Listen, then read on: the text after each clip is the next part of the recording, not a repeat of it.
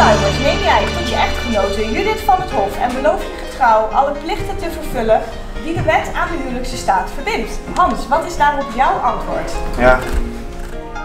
Judith, wat is daarop jouw antwoord? Ja. Dan verklaar ik als buitengewoon ambtenaar van de burgerlijke stand van de gemeente Alphen aan.